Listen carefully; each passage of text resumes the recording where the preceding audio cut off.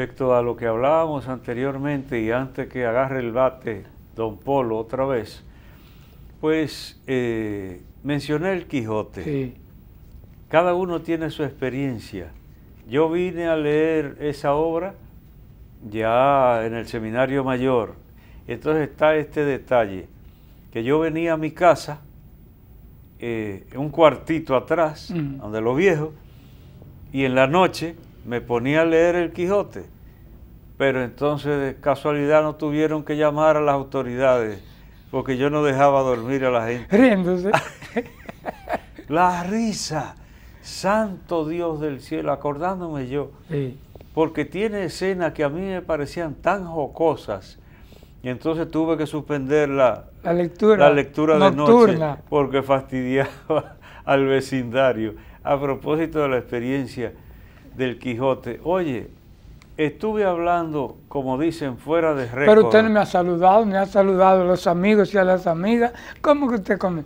Pero, ay, señor, ¿Eh? pero es que Pero yo le di el turno para que usted saludara. es que, ay, pero, Yo le dije que, que usted saludara. ay, Dios mío, Dios mío. Sí, salude. Entonces, no, ahora saluda tú. Ah. Es una alegría para nosotros compartir como cada semana comunicación y vida. Monseñor inició haciendo un relato de lo que tratamos en un programa anterior, del Quijote, que tanta gente ha leído y que ha sido traducido a tantos Bendito idiomas. sea. Coja usted la palabra. Oye, pero yo creo la edad Sí. hace efecto. Sí, Yo te dije el otro día, Polo, ¿y qué será? Que se me están olvidando algunas cosas. Sí. ¿Será beber fosfostimol? para, para la memoria. Pero aquí no hay quien me aconseje porque No, yo nadie, yo estaba nadie atento. está cualificado. Percy y Edley que- dijeron, ¿qué pasó? Mira, eh, pues entonces sí, digamos algo de los... Tenemos saluditos pendientes porque anduve caminando, aunque hace un tiempecito ya, pero no importa, los saludos siempre, pasan. siempre caen bien. Por ejemplo, la parroquia San Juan Bautista de las Antillas, aquí en Santiago, con el padre Benito Cruz, la antigua. Sí. Entonces ahí estuvimos, eso fue en sus patronales, pero con confirmaciones. Y yo quisiera que tú hubieras visto, Polo, cómo se nos acercaron. Tengo grabada sobre todo una jovencita, una adolescente, comunicación y vida. vida. Yo veo siempre anda, digo, ay, Dios, ya tú sabes, el asentamiento. Hay un rango de todas las edades. Pues que se sientan eh, saludadas esas personas y ni siquiera le pregunté el nombre a esa jovencita que con tanta gracia me dijo eso de comunicación y vida. Digo, pues bendito sea Dios que muchas personas están pendientes de nosotros. También la parroquia María Madre de la Iglesia en el ensanche Espaillat, ahí está el querido padre David Telles, 90, de los 90 buenos años. tiene, 90 años de edad, y lleva a la parroquia el padre Dionelli Rosario. Entonces ahí tuve también un buen grupo de confirmaciones y por igual. Ahí fue las dos cosas, el despertar del cristiano, dije, cantando, Sí, sí, sí. Y comunicación y y vida. comunicación y vida. Y entonces aprovechamos para saludar. Otra cosita la diré después de, de ti. Iba a decir, eh, compañero del padre David Telles, fue el padre Pedro Mahamú, ¿Cómo no? sí, autor de esa... No, no. No fue de... fue Eduardo Martín. Ah, Eduardo, que fue eh, profesor de la madre y maestra. Sí. Eran compañeros los Compañeros, tres. Los tres. sí. Bueno, mi saludo breve para Pilar Salcedo. Es una señora de 85 años y me alegró tanto conocerla. Tú tienes que decir una jovencita Sí, de 80. de 85 años es una persona fiel de nuestra iglesia del sector de Conani y su hija Amalfi. Y oiga un dato bonito, monseñor. Su hija es de otra confesión cristiana, pero Ah, nos, sí. nos escucha, nos ve Sí. y con cuánto respeto y tanto cariño y compartí con ella. Fue en los días en que mi hermana Ligia estuvo enferma. Y también eh, Rosa María Santos del sector de Las Palomas y Francisca Mercado de Cruz Gorda, Gurabo. He terminado. ¿Eh? Estoy Lo estoy asombrado aso- de tanta concisión Bueno, y pues ahí está. Bien, La gente que nos encontramos. eh, bien, y tantos, tantos otros. Sí, que porque como dice Que- usted, a veces no tenemos dónde anotar. Ay, Dios mío, y en- también en el momento que se le acercan a uno, que se den por saludados y que nos alegra el que nos digan esas palabras son de estímulo, porque no es lo mismo uno trabajar y no ver el efecto y hacer algo y no ver el provecho, pero no es el caso, gracias a Dios. A veces nos sorprenden, como te digo, hasta personas que uno creería que no, y sin embargo, está- incluso comunicadores yo me he encontrado, y lo vemos, nosotros lo vemos. Qué bueno. Entonces, pues es una alegría encontrar respuesta en las personas. Pues bien, para que Polo no me engañe como acostumbra, Ujú. palabra. Ahí va. Mire, hoy volvemos al Evangelio. Porque los que les, miren que hemos ido variando. De los Evangelios casi siempre. Saltamos al Salmo. Salmo, 100. Después vinimos con los jueces, capítulos 6 y 7. Gedeón, el sastre, que tengo que practicar Sí, eso porque sí. no lo sabía. Entonces ahora volvemos al Evangelio de San Mateo en el capítulo 6. Eso es lo que quiero compartir con ustedes en esta ocasión.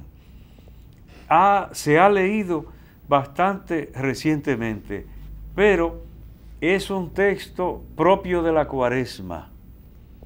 En la cuaresma no falta, pero también durante el año, y si la iglesia nos lo presenta durante el año, será porque cree conveniente. Entonces ahora veo yo que está hasta en consonancia con otro temita que tratamos, refiriéndose, por ejemplo, cuando hablamos de la precedencia, de estar buscando los primeros lugares, que podíamos haber escogido un texto del Evangelio porque ahí el Señor habla de eso. O que se sientan en los primeros Pero lo que insistimos más fue en aquello de que la obra de Dios se realiza por medio de nosotros, que no nos atribuyamos la obra que es de Dios, la nuestra sí, lo que humildemente podemos hacer. Entonces veo que este texto del capítulo 6 de San Mateo, varios versos, empezando por el primero, entonces, tu Padre que ve en lo escondido, te recompensará. Ve en consonancia perfecta con lo que anteriormente en otros programas habíamos compartido.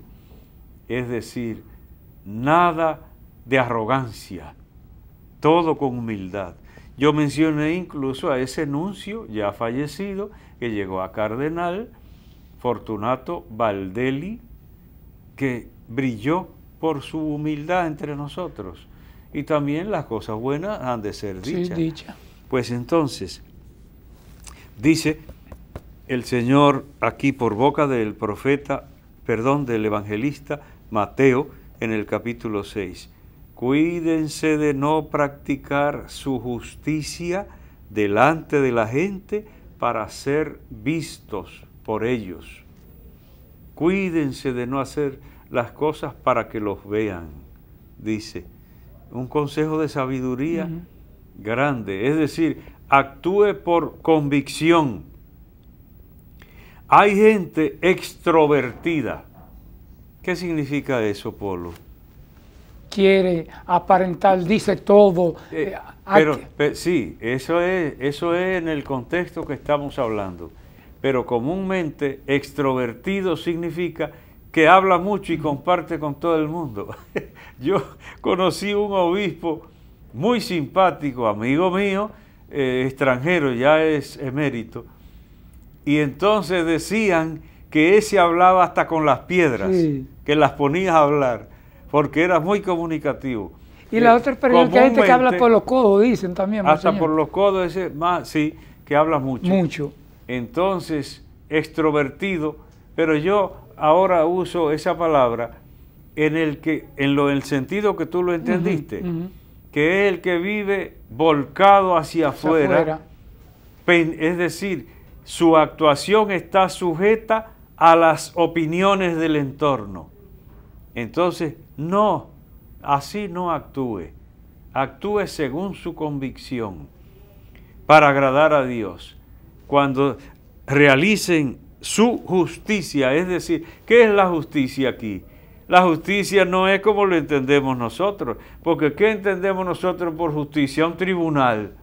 No, Señor, justicia es la vida de Dios, la vida de Dios, lo justo, el justo, es decir, el que lleva su vida según Dios. Entonces, el que va a poner en práctica eso, que no lo haga por apantallar. En el Evangelio no podía aparecer esa palabra todavía, porque ni había pantalla. No, había pantalla. Pero por apantallar, o como se dice mucho en la capital, por allantar. No. Entonces, ahí es donde vienen todos los otros consejos. No sean como los hipócritas, que eso los hacen para que los vean y por eso se encaraman en lo más alto y en las sinagogas y en las plazas y en las esquinas. Entre ustedes no, ha de ser así, como con frecuencia dice el Señor. Y por eso, tú, cuando ayudes a un pobre, que lo que hace tu mano derecha, no lo sepa tu izquierda. Oye eso, como si las manos hablaran, que lo que hace tu mano derecha, no lo sepa tu izquierda. ¡Qué imagen! Es decir, ni una mano tiene que saber lo que hace la otra cuando se extiende para dar el bien, para hacer el bien a un necesitado. Eso sí es sano. No es que usted sea complejado, la luz tiene que brillar. Lo que dijimos ya una vez.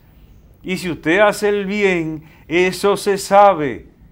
Dios es el primero, el garante del bien. Pero una persona que hace el bien es como una luz encendida. Tiene que saberse, pero usted no lo hace para que se sepa. Le llega el momento. Por eso hay gente que prende una lucecita y de una vez quiera, quisiera que el mundo entero se enterara de esa luz. Brille y ya se enterará como lo que cité anteriormente de Séneca. Dedícate a profundizar y a estudiar y a entrar en la sabiduría de verdad. Y los que sirven para algo irán a donde ti. Séneca, dígame usted, antes de venir Jesucristo al mundo, en Roma, filósofo romano, ya un consejo tan sano y está, veo, muy en consonancia con este evangelio. Y por igual, cuando vayas a orar, Tampoco busques el lugar más elevado para que te vean con la pechuga levantada, todo devoción. No, entra en tu habitación, cierra la puerta y órale a aquel que ve en lo escondido. Dios que ve en lo escondido te recompensará. Y yo creo que es una enseñanza, cómo lo vas repitiendo, y tu Padre que ve en lo escondido te recompensará. Yo no sé si le hace falta a todo el mundo esto. A mí me hace falta, porque como dije ya una vez en un programa anterior, humano soy. Y hay cualquiera pifia. Entonces cuando uno viene a ver, puede sorprenderse actuando por criterios humanos nada más. Y a nosotros no nos luce precisamente a nosotros que andamos en nombre de Dios, tratando de decirle a la humanidad cómo hay que caminar.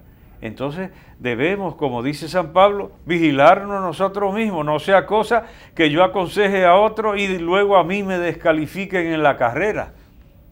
Entonces yo mismo tengo que estar pendiente, porque yo que aconsejo a otros puedo verme descalificado. Entonces creo que es muy bonita esta enseñanza que nos da el Señor, Mateo en el capítulo 6, la conclusión, qué bonito sería, Polo, que un joven se, se acostumbrara, sin ser acomplejado, a actuar sin arrogancia, a actuar con naturalidad. Entonces, que tuvo éxito en una cosa, pues si usted quiere, brinque para arriba y celébrelo, pero que no se le vayan los humos a la cabeza, que es tan frecuente. Tú habrás visto, Polo, incluso gente que hasta se siente con autoridad para despreciar a otros por el éxito que ha tenido. Pensamos, Señor, en nuestros hogares, deberíamos con nuestros hijos ir inculcando todo este valor de, la humildad, porque si no se cultiva, si no lo hacemos nuestro, uno hace mucho daño a los otros, aplastando con actitudes de esta forma. Tú hablando y yo pensando en, siguiendo el mismo hilo, eh, una frase que tú la habrás, la habrás oído, que se la atribuían porque la gente es ligerísima y superficial. Yo vivo con esa queja. Se la atribuían al presidente Kennedy y decían, la victoria tiene 100 padres, pero la derrota es huérfana. Huérfana, sí. Eso es más viejo que el rascar. Yo tengo libros, lo compré en Italia, con frases de dónde vienen en el idioma original, en griego, en latín, en no sé cuánto. Y me puse a buscar una vez. No tengo mucho tiempo, pero a veces la curiosidad me hace hasta, no importa qué hora sea. Entonces busqué, eso es viejísimo. Eso, se la, ah, dije que la inventó el presidente Kennedy. Lo mismo aquella otra que decía, no te preguntes qué hace la, patria, por, ti, sino qué haces tú por, tu país o por la patria. Eso lo dijo un profesor de Kennedy cuando él era muchacho estudiante. A Kennedy se le quedó y lo dijo, y, se lo achacan a él. Entonces, pero lo anterior, que me ha venido a la mente cuando veo el éxito de algún deportista, por ejemplo. Bartolo Colón ahora ah, que incluso venció. El récord ya de Marichal. ya sobrepasó el récord de Marichal y está persiguiendo a, a otros. Martínez. Entonces, el éxito, el éxito, el éxito. Entonces, la victoria tiene 100 padres, pero la derrota es huérfana.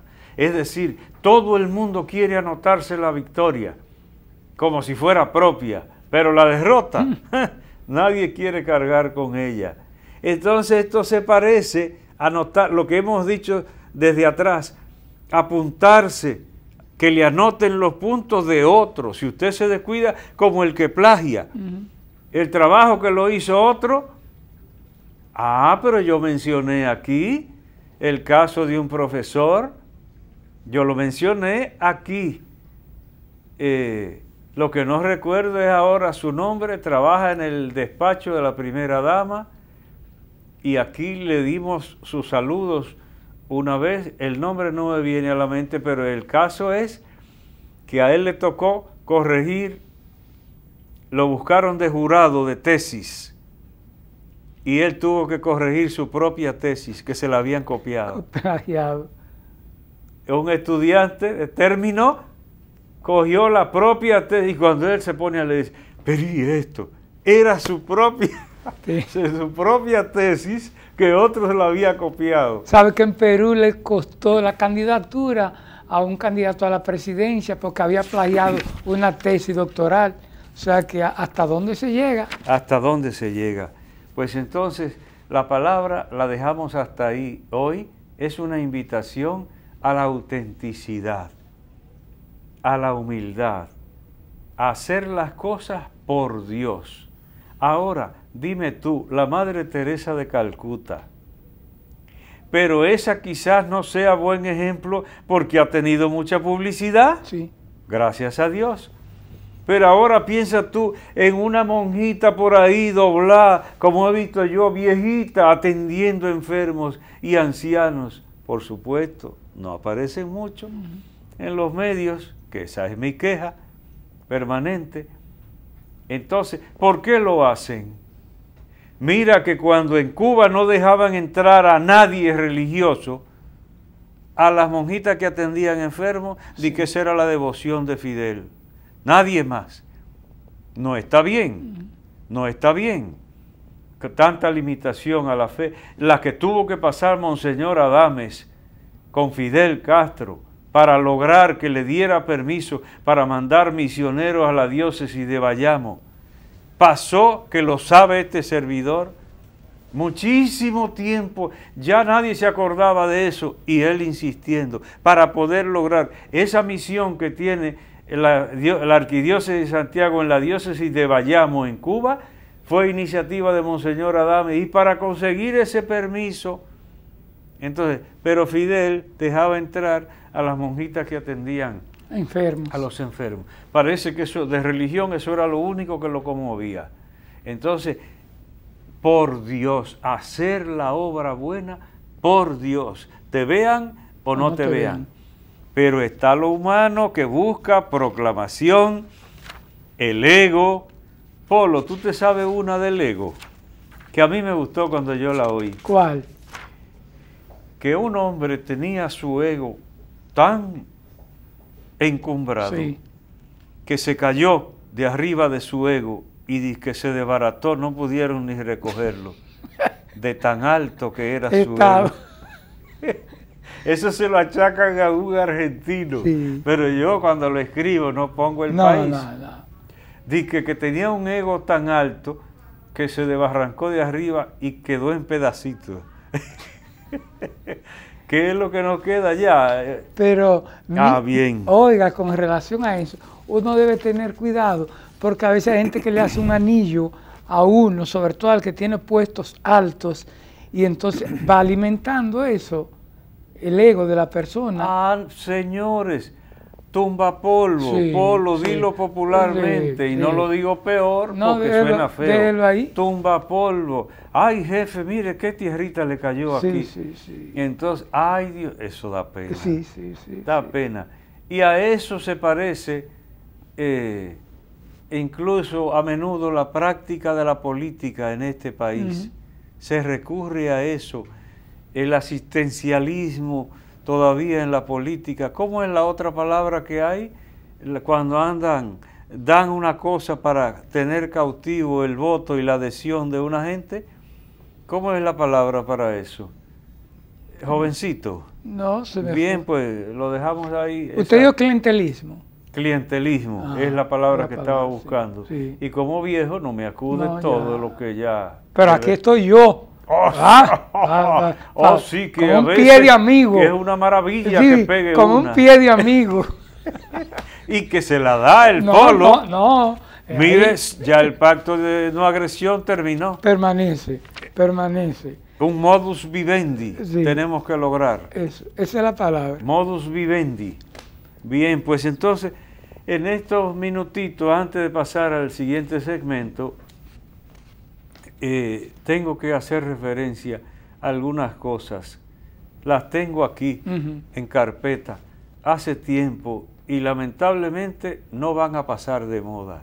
Son los hechos de violencia que no he podido lamentarme aquí ni darte oportunidad a ti, Polo, también de que, por ejemplo, esa Agneris, que fue la dama a la que mataron en una joyería. En la calle del Conde. En la calle del Conde ya agarraron al y, confesó él. Entonces yo me pongo a pensar, porque se diría un tiro. Cualquiera dice, ay, se me zafó un tiro, y, pero con un cuchillo no fue que se te zafó un tiro. Ay, Dios mío, y el que le ve la figura y la carita, uno dirá, ¿y cómo es posible que alguien sea capaz. Pero Satanás anda suelto, dicen los viejos.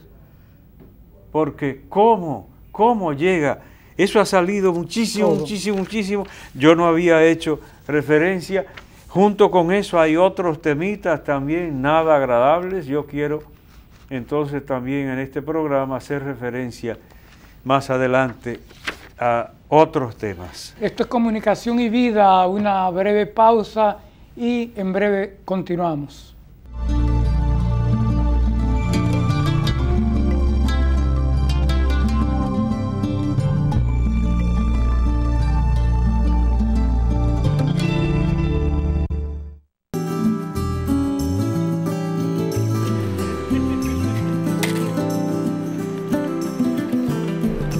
Yo construyo paz cuando respeto el orden.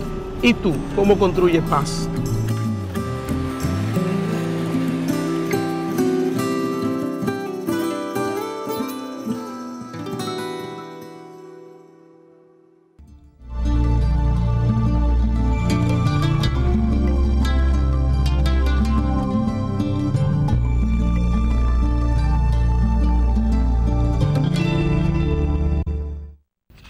Gracias por continuar con nosotros en comunicación y vida. Agradecemos a tantas personas que nos siguen a través de YouTube, Comunicación y Vida, aquí y fuera de la patria.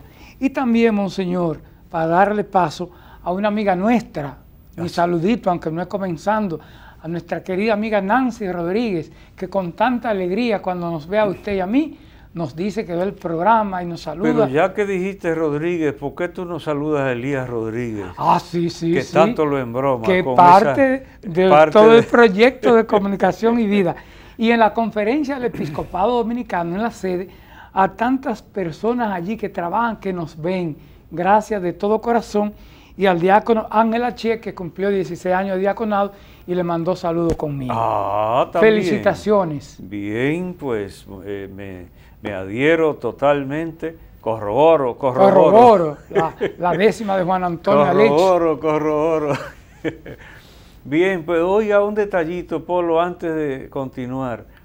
Tú sabes que yo estuve en el Politécnico Nuestra Señora de las Mercedes en el encuentro de las comunidades.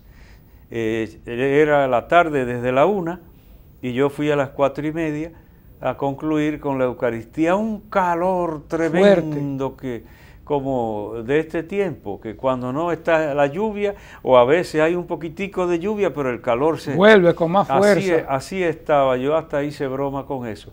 Pero en lo que llegaba la hora de la misa, fui a dar vuelta por el patio del Politécnico Nuestra Señora de las Mercedes y me encontré con un par de matas de Guayacán. Guayacán. Entonces, óyete, le saqué fotos y la puse en Facebook y mucha gente comentó, unos porque no la conocían, porque yo puse, al que no conozca o se le haya olvidado el Guayacán, aquí está. Entonces, están florecidas, es una flor moradita, una florecita pequeña, moradita, entonces contrasta con el fruto que es amarillo intenso. Entonces ahí estaban, saqué esas fotos, porque es un árbol casi, casi endémico del sur, no del resto del país. En el sur es que incluso, al ser una madera preciosa, todavía hacen muchísimos pilones que tienen dos tonos, un tono más claro y el corazón que es oscuro siempre. Una madera tan bonita. ¿Por qué le tendré yo algo de cariño al Guayacán. ¿Qué te parece? Por el tiempo usted estuvo en el sur, 17 no, años. que parte de ese corazón está enterrado por allá. Por allá. ¿Sabe que había una eh, publicación sureña que se llamaba Guayacán? El padre, al padre Luis Quinn lo llamaban el Guayacán si tú no lo sabías. Iba a decir algo, pero usted va a comenzar a hablar. Eh, pero espérese. No, yo dormí siete noches en la casa del padre Luis porque ¿a dónde? Hasta en la casa de Ho Chi Minh. Estuve allá dando un taller de comunicación en San José de Ocoa y entonces ahí estaba el padre Luis Quinn. Ay, Dios ¿Eh? mío. no, no, yo no. había visto un hombre que haya dado tanto brinco bueno, como Polo. Siga. En mi vida no había visto. Siga, siga. Entonces, no, simplemente eso le tengo cariño. hay algo con la madera y un servidor. ¿Por qué será? Por el carpintero. Por hijo de carpintero.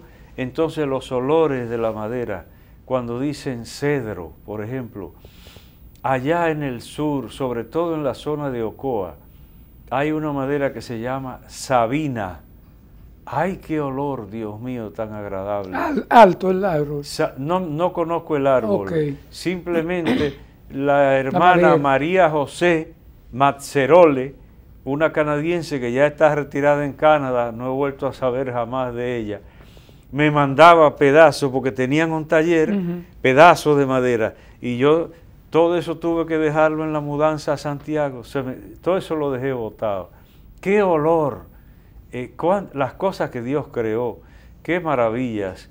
Entonces yo parece que estoy marcado por la experiencia de ver a papá serruchando madera, ese olor, uno es el olor del pino, la caoba no huele a nada, el roble tampoco, pero el cedro y esa sabina y otros, hay una fragancia hasta en eso, ¿eh? que dan para perfumar armarios y todo, eso. Si tú haces un armario de esa madera por largo tiempo, ya la ropa viene con ese olor a madera. Bueno, no creas que yo una vez hasta compré en un supermercado, creo, tres rodajas artísticamente preparadas de madera que era para poner en los armarios. Pero eso es más bobería que otra cosa porque se le va el olor. Usted recuerda que al serrucho le untaban un poco de, aceite. para que pudiera eh, rodar con más facilidad. pero eso es, eso sí, sí, sí, Se ve que tú has pasado por donde hay serrucho. Y sabe lo que vi un día, monseñor, y ustedes amigos y amigas, un señor tocando con como si fuera el serrucho un violín y le sacaba la melodía. No, anda por ahí en YouTube. Sí. Y todas las monerías, de lo que no invente un ser humano. Ahí estaba. Lo que no invente un ser humano. Polo. La bella cubana interpretó, recuerdo, con el serrucho eso, ahí. Eso parte del alma. Ah, para que usted vea. Eso parte del alma. Ahí estaba.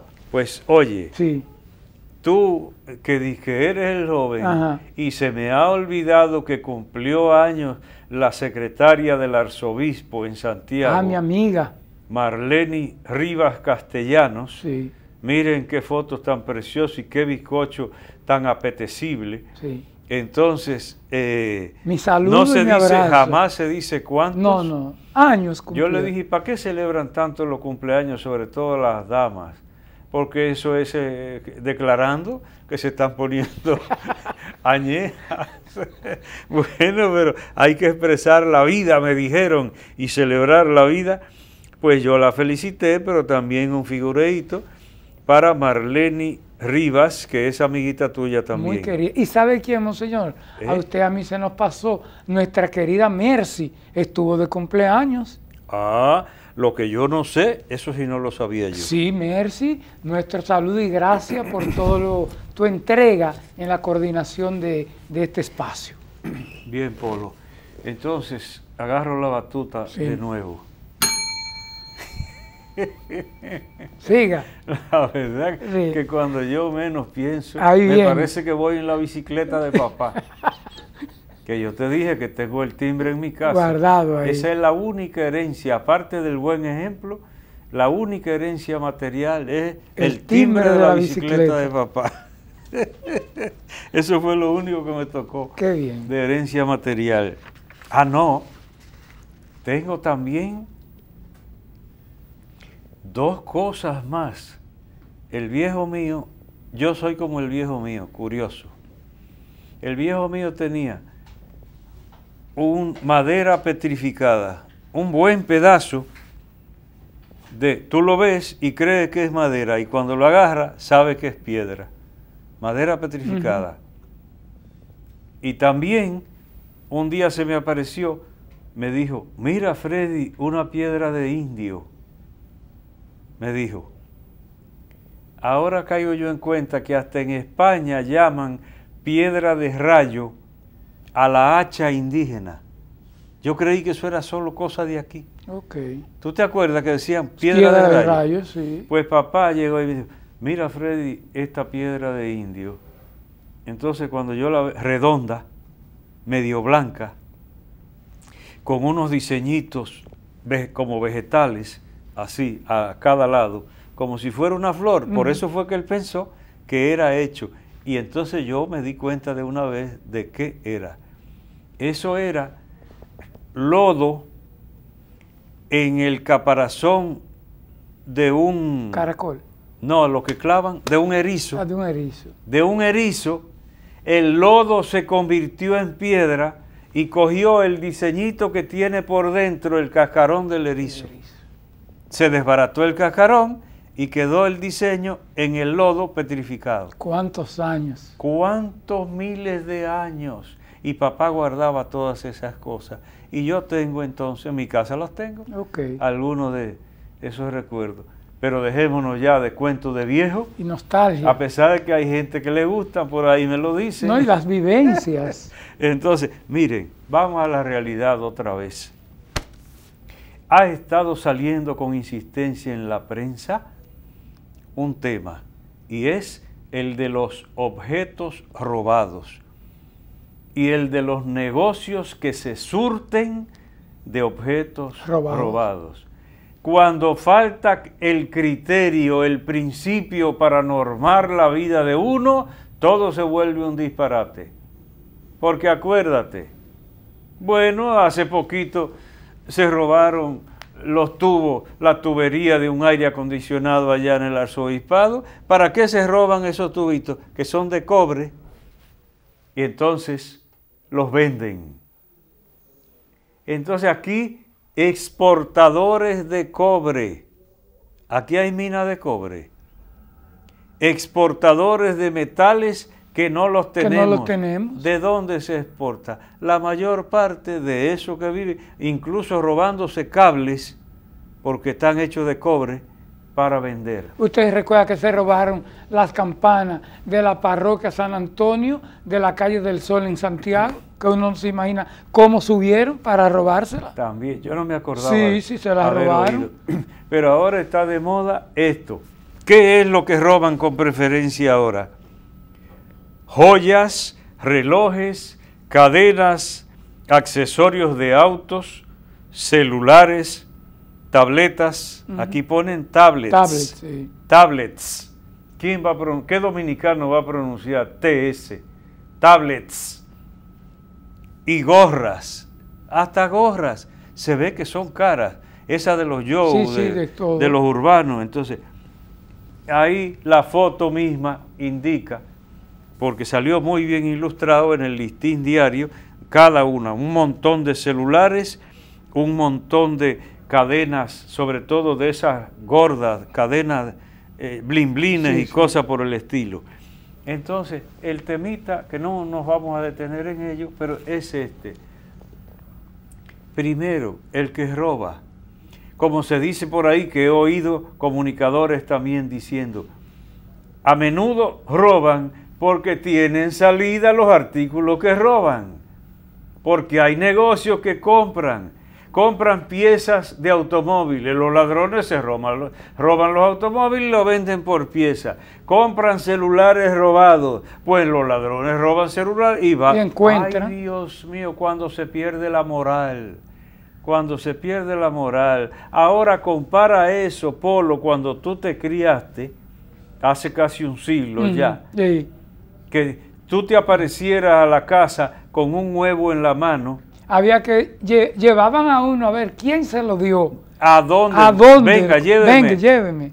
Para saber el origen de un huevito con que usted se presentó siendo un niño, lo llevó a su casa. ¿Quién te dio eso? Fulano. Vamos para Vamos allá. a ver quién fue. Fulano, ¿usted le dio esto? Sí. fui yo. Ah, ya. Ah, muy bien. Pero, ah, y entonces después se pusieron las cosas, oía yo que, di que cuando llegaba el muchacho, lleva- llegaba con el huevo y, y no quedaron más donde tú cogiste. Uno se ríe, Sí. pero y no había más donde tú cogiste ese. Entonces, mire a, mire a dónde hemos llegado. Entonces, hasta, la, hasta matar. Porque no se diga aquí la hijita de nuestro querido doctor Juan Juan Ramírez, Ramírez, Vanessa. Vanessa, eso hizo historia. ¿Cuántos irán ya? Y mira ahora esta muchacha en la propia joyería apuñalada. Eh, que, que aunque pase el tiempo, hay cosas que le pasa el tiempo, pero uno se queda con la sensibilidad casi herida de que sucedan en este país. Tendríamos que promover otra vez los valores. Nos vamos a cansar de decir eso. Otra vez volver a inculcar valores, especialmente en la juventud. Y, a no aspirar a aquello que usted no puede, porque también la misma sociedad contribuye. La sociedad de consumo engendra también esa desgracia, porque ella espolea, ella promueve el consumo y el que no tiene con qué consumir, entonces busca, como el drogadicto, no tiene con qué comprar la droga, pues entonces va y roba para comprar la droga. La sociedad de consumo te agita y lo que importa es que ellos ganen. No importa que tú gastes el dinero de, la escuela, del colegio, de la comida. No, es que ellos ganen. Entonces, un joven metiéndole por los ojos prendas y tenis de valor y ropa y lo que no sé cuánto, y no tiene con qué, y le falta moral y principios, o si los tenía se le olvidan. Y cuando venimos a ver, tenemos una sociedad delincuente, una sociedad en que crece la delincuencia. ¿Qué podemos hacer, Polo? Yo pensaba, Monseñor, hace muchos años atrás, cuando nuestros jóvenes tenían esos ideales tan preciosos, esa pastoral juvenil, los grupos comunitarios, no veíamos nada de esto. En la medida que fueron desapareciendo, entonces estamos cosechando esto. Y quiero, Monseñor, que usted me diga algo también que compartamos en algunos países van sacando a Dios de su vida. Por ejemplo, en España ahora ya que ningún símbolo religioso y en otras partes también. No, y aquí mismo eh, queremos un país laico. Laico. Laico, bien, pues saquemos a Dios del corazón de la gente y lo que quedará será desgracia en bicicleta. Desgracia en bicicleta. ¿Tú has oído eso? Yo no, la he, yo no la he visto nunca, pero me la imagino. Desgracia. Una desgracia en bicicleta. Oh, pero eso se usaba para donde yo me mm. crié. Saque a Dios del corazón del ser humano y le quedará no cualquier fiera, porque la fiera tienen su disciplina. Esta no.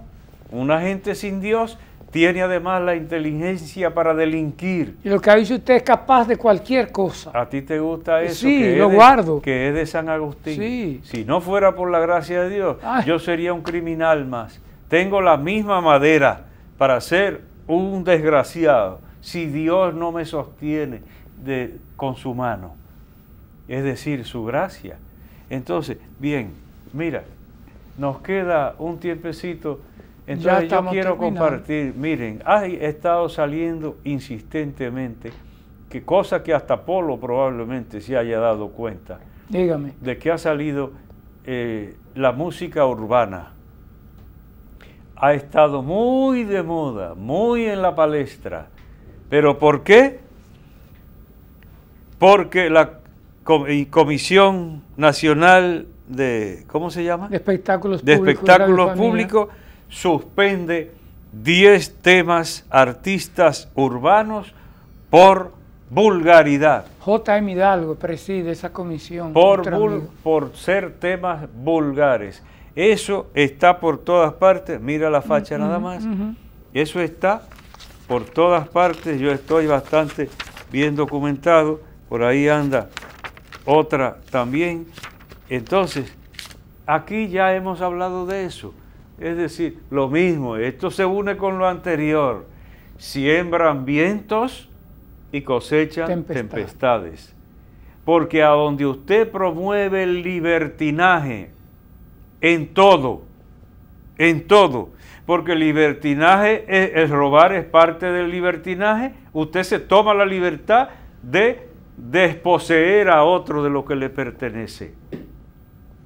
En lo sexual usted se toma la libertad que le dicen los liberales de la sexualidad, los de avanzada. Mm. Entonces, los compositores componen lo que le venga a la mente. El otro día me tocó ver, porque yo paso canales, generalmente no me quedo casi en mucho tiempo en ninguno, salvo un pedacito de película que nunca veo una entera, la veo por retazo.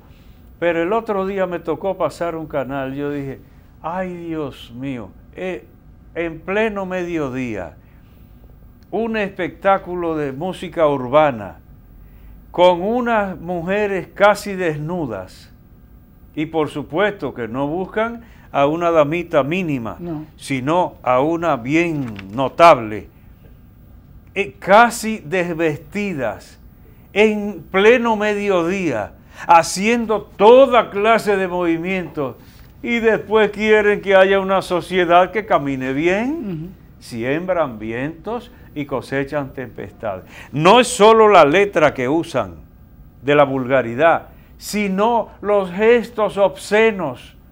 No importa que sean menores que estén viendo eso. Ay, después el grito al cielo, que qué pasará en esta sociedad, que tenemos tanta violencia y tanta desgracia. Usted no la sembró.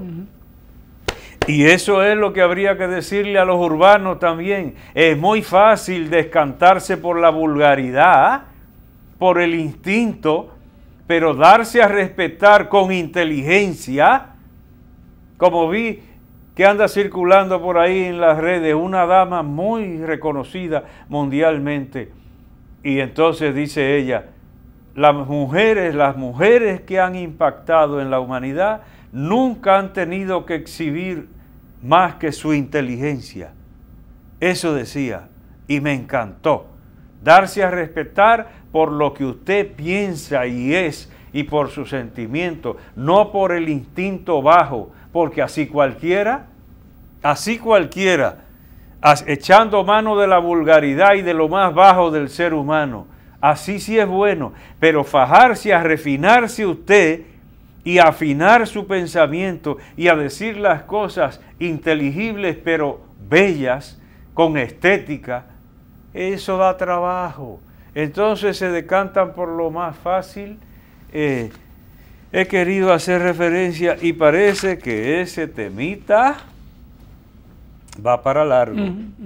Pero nos alegramos de que las autoridades pongan coto a ese tipo de de actuaciones que perjudican a una parte sensible de nuestra sociedad. Yo pienso, Monseñor, también que papá y mamá en esa sociedad pequeña que es cada hogar, deberíamos también con nuestros hijos, con nuestras hijas, porque a veces hay padres y madres que con una niña pequeñita imitando todo lo que ven en la televisión, se alegran, ay, qué bonito y todo esto. Entonces. Y después hay un tema vedado ahí hay un tema vedado que nadie se atreve a hablar de eso, y son las provocaciones, porque no justifica, no justifica un despropósito ni un crimen el que una dama o una niña incluso ande provocando. Pero caramba, ayudémonos. Ante tantos enfermos. Ayudémonos, ayudémonos. No hay que exagerar. Eh, aquí está también el riesgo de la libertad, de que a algunos se les va la mano en la libertad y entonces es muy difícil eh, percibir la frontera entre la libertad y el libertinaje, o como se decía antes, de lo sublime a lo ridículo, solo hay un paso. Cuando uno viene a ver, está del otro lado. Se mantuvo en la libertad y cuando viene a ver, pasó los límites de lo razonable y entonces estamos engendrando un monstruo. Bien, mira lo que le dediqué a Monseñor Severino. A sus 88, años y va a interpretar todavía un papel en una película. Ese actor famosísimo. Eh, se lo mandé a Monseñor Severino porque tiene 88, para que se anime. Se anime ahí. Esto es comunicación y vida. Una breve pausa y venimos con nuestra oración final.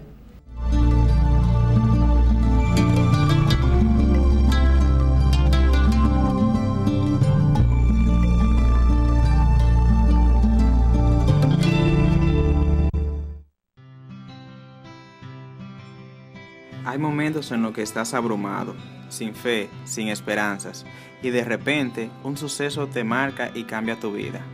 Esto es lo que ha cambiado la mía.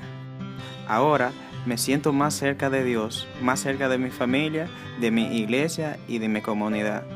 Ahora soy un joven más comprometido y más responsable con la verdad y el camino. Periódico Camino, al servicio de la verdad y la vida.